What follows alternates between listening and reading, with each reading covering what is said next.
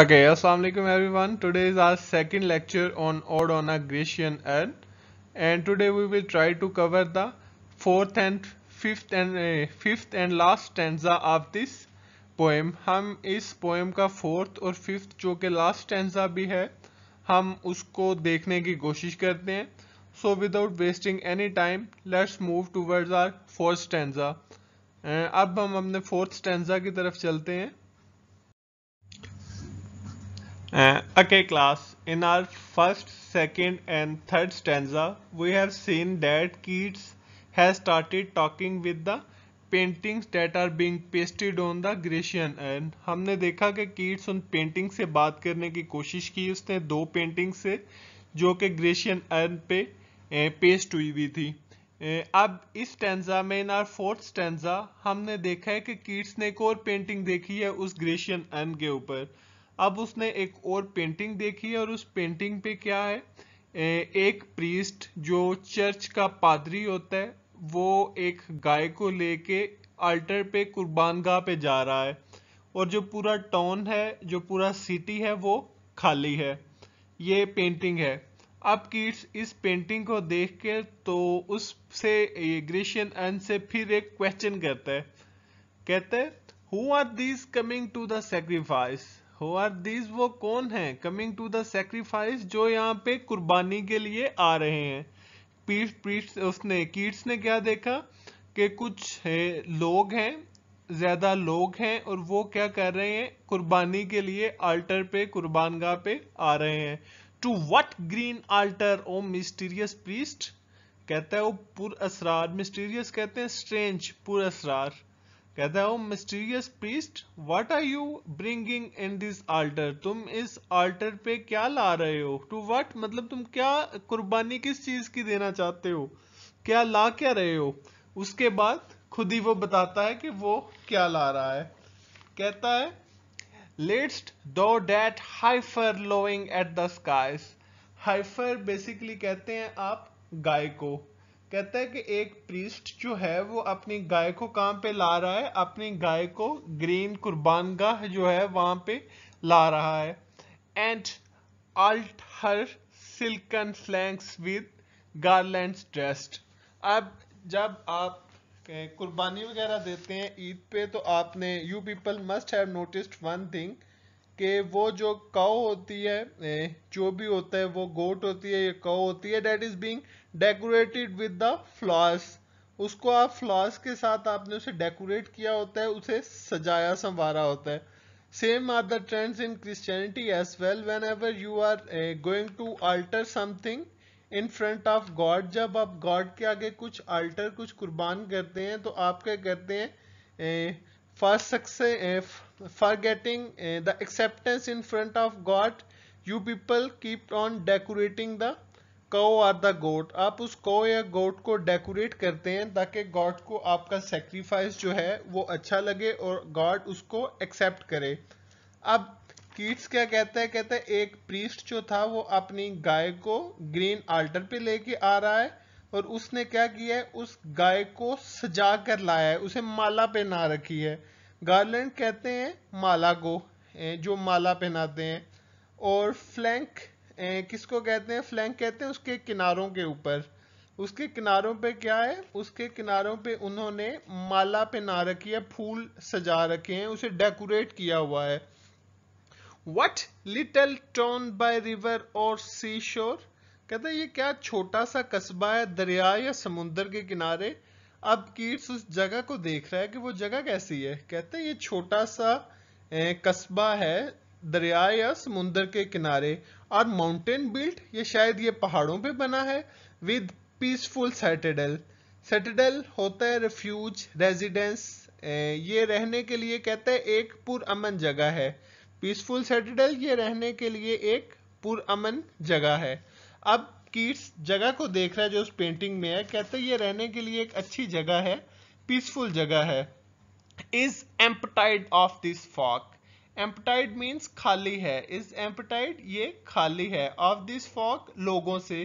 कहते हैं कि ये लोगों से खाली है। मतलब this place is not surrounded with the people ये लोगों से भरी हुई नहीं है। रीजन क्या है? कीट्स क्या कहता है? दिस पायस मोन हो सकता है कि लोग इस मुकद्दस कुर्बानी को देखने गए हों। कीट्स आइडिया ये करता है कि people are not here in this small town because there is a chance that people are going to witness this pious मोन इस पायस सेक्रीफाइस को देखने के लिए लोग गए हैं। डेट्स वाई यहाँ पे ए, लोग नहीं है। ये जगह लोगों से खाली है।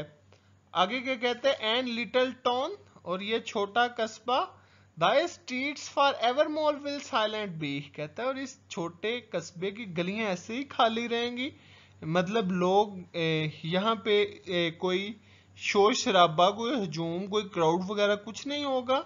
The street forevermore will silent be क्या तुम्हारी गलियाँ ऐसे ही खाली रहेंगी? And not a soul to tell और यहाँ पे मुझे कोई बताने वाला भी नहीं है। Why thou art desolate can ever return कि ये इतना सुनेटा क्यों है? ये लोग वापस क्यों नहीं आ रहे? कैन एवर रिटर्न ये वापस क्यों नहीं लौट रहे? Why thou art desolate desolate mean isolate isolation तन्हाई। कहते इतना सुनाटा क्यों है? लोग वापस क्यों नहीं आ रहे? ये क्वेश्चन कह रहा है कि लोग इस जगह में, लोग कहाँ पे हैं? इतनी पुरमन, पुरस्कून जगह है। खाली क्यों है लोगों से? आगे देखते हैं। अब उसने पिक्चर्स वगैरह पे स्टोरीज वगैरह गैस कर ली हैं। अब वो अन से डायरेक्ट एड्रेस कर रहा है। उसको डायरेक्ट मुखातिब कर रहा है। कहता है, आओ एटिक शेप एटिक एक टाउन था ग्रीस में। यूनान में एक टाउन था और उसका टाउन कहाँ पे था? एथेंस सिटी था। उस सिटी का टाउन था। और एथेंस जो है, अगर आप लोगों ने पढ़ा हो तो प्लेटो एरिस्टोटल इसके अलावा अलेक्जेंडर द ग्रेट ये सारे जो यूनानी थे, इनके पीछे जो उनका सेंटर था, सेक्रेटिस, वो एथेंस था। तो अगर आपको याद हो कि सेक्रेटिस का स्टूडेंट था प्लेटो और प्लेटो का एरिस्टोटल और एरिस्टोटल का Alexander. And Alexander was the man who has conquered the whole world वो वो आदमी था जिसने तकरीबन 60 या 70 percent of the world territory जो थी, उसे कंकर किया था। एट द एज ऑफ़ 22 और 23 बाईस या तेईस साल की उम्र में उसने आधी दुनिया को फतह कर लिया था। तो क्यों फतह किया था? Because he was the student of the great Aristotle वो, ए ग्रेट एरिस्टोटल जो था एरिस्टोटल उसका स्टूडेंट था इस वजह से।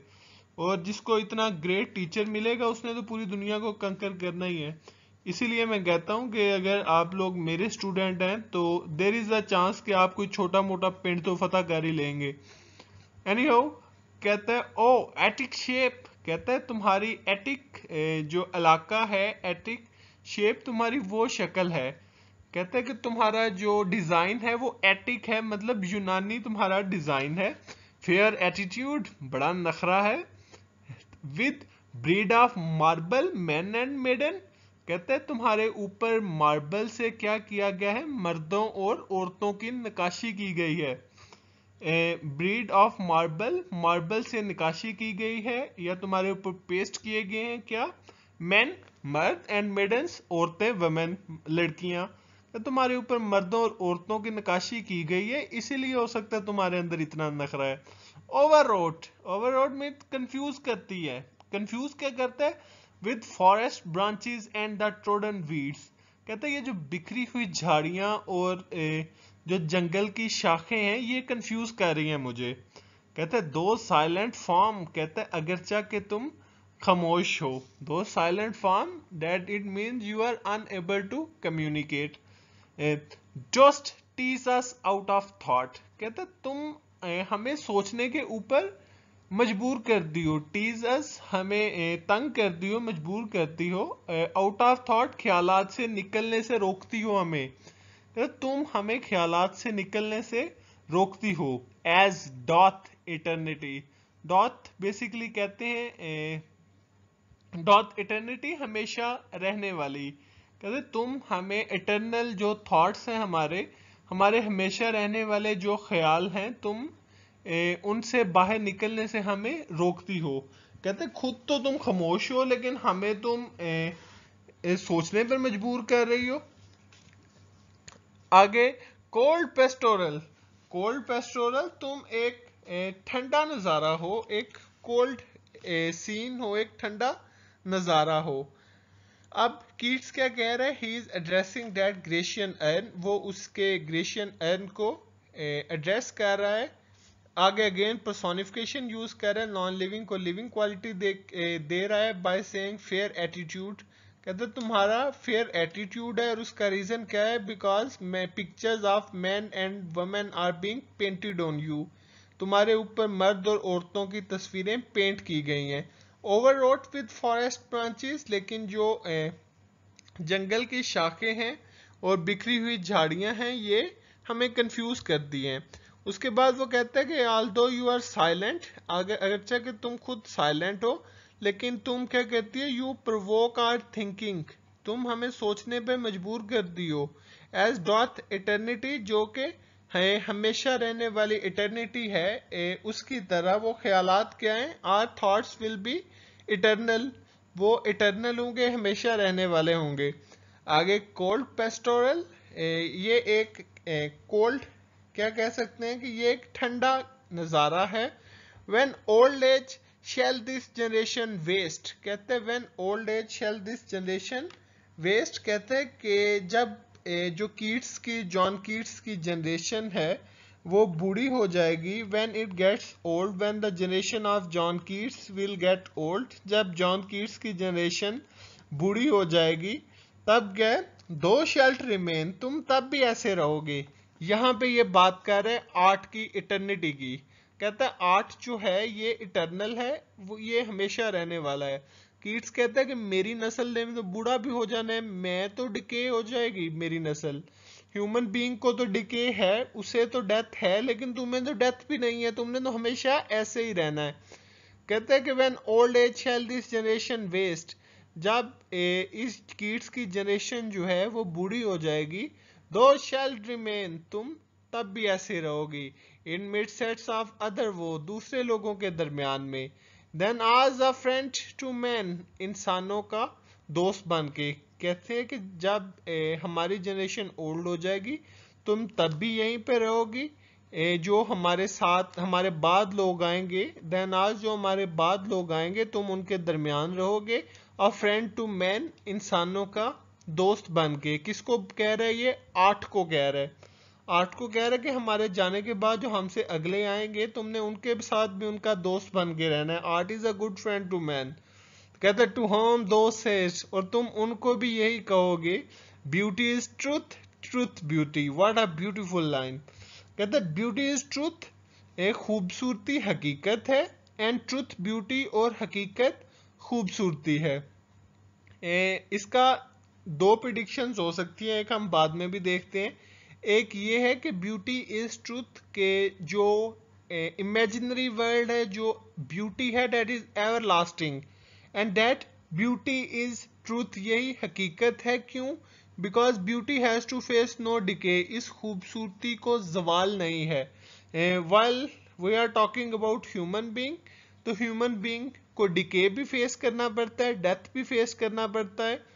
तो ह्यूमन बींग तो हकीकत नहीं है। अल्टीमेट ट्रूथ इज़ ब्यूटी हमेशा रहने वाली हकीकत खूबसूरती है। ब्यूटी है आर्ट है, जो कि हमेशा रहेगा। क्यों? क्योंकि आर्ट को तो जवाल है ही कोई नहीं। ट्रुथ ब्यूटी और हकीकत खूबसूरती है।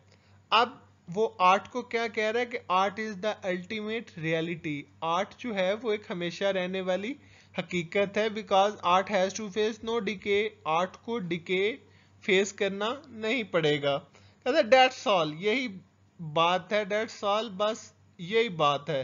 That's all you know on earth और यही बात है जिसे तुम इस ज़मीन पर जानते हो। And all you need to know और तुम्हें यही जानने की ज़रूरत है। यहाँ पे again he is talking about death ये डेथ की बात कर रहा है और ये डेथ की बात क्यों कर रहा है?